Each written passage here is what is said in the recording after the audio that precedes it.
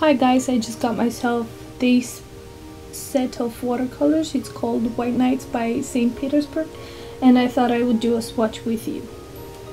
So um, the, pa the palette that I've got comes with uh, 36 full pans and they pretty much come with a swatching card which I didn't use just because um, the paint does not react the same way in different types of paper so I decided to use one of mine. And the pans come in individual pans now they come wrapped in this um, piece of paper that tells you the name of the pigment that or the pigments that have been used um, the light fastness and some other information such as name and so on I've also realized that when I unwrap them if I press in some of the paint is soft enough as to push it down now for the swatching I will just activate the paint with some water and I will tell you the names of the paints as I apply them on paper. They're very easy to activate. Um, I just dip my brush and start mixing and the pigment comes up right away. So these first colors are zinc white, cadmium lemon, cadmium yellow medium, yellow ochre, golden,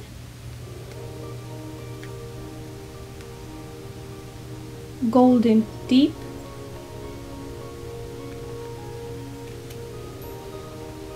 Hansa yellow,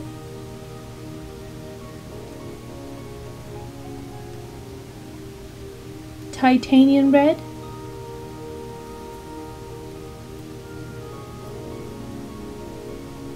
ruby and I found this to be a gorgeous gorgeous pink. Cadmium red light a very bright red and a little bit opaque light English red.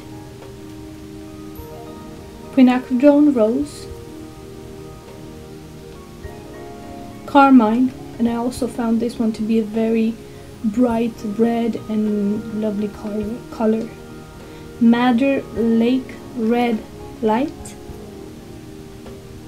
quinacridone lilac, and I must tell you that when mixing, when activating this color, um, it actually had some pigments separated. Violet, which is a very deep dark blue. Ultramarine, azure, cobalt blue,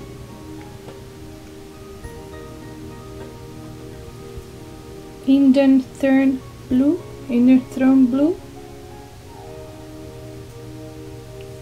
turquoise blue,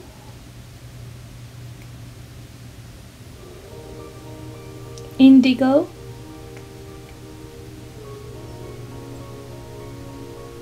cerulean blue,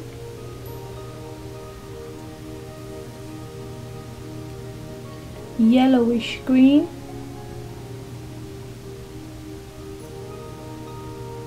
this gorgeous emerald green,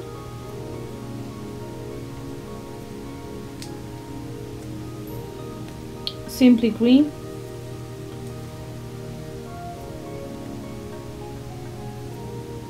olive green, chromium oxide, oxide. Raw sienna,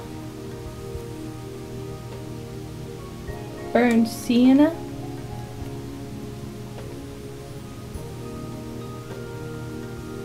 umber,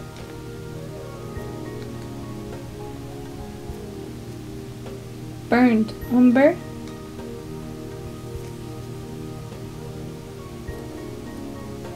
Mars brown,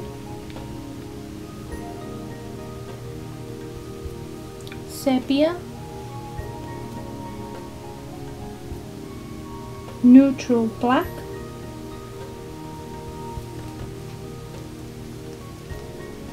and Payne's Gray. I've also decided that I wanted to see how the pigment moves around when dealing with loads of water and I must tell you some colors um, were staying quite still while other colors as soon as they touch the paper they would just spread all around like this red. And it actually creates some gorgeous gorgeous shapes.